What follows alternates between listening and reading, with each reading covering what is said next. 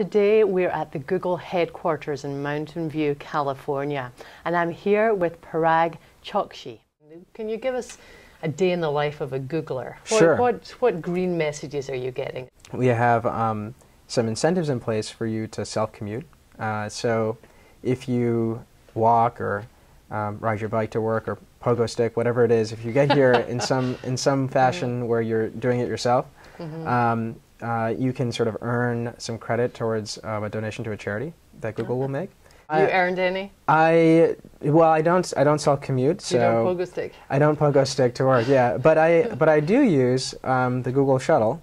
Uh, you know, I live in San Francisco, and I I, I take the shuttle here, and um, I think at last count, over 3,000 people um, on our campus take the shuttle.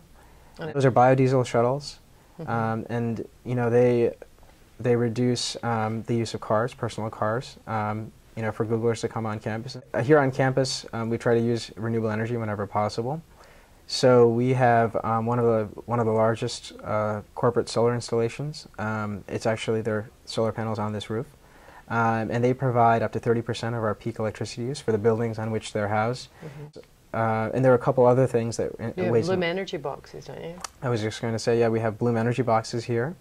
So we use um, all compostable you know, cups and silverware.